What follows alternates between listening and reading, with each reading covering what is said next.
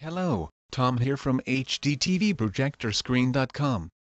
This question was asked on the internet. I've seen these new rear projection screens which are completely clear, and seem to just sit in mid-air. This has a cool holographic effect, but I'm wondering how these work.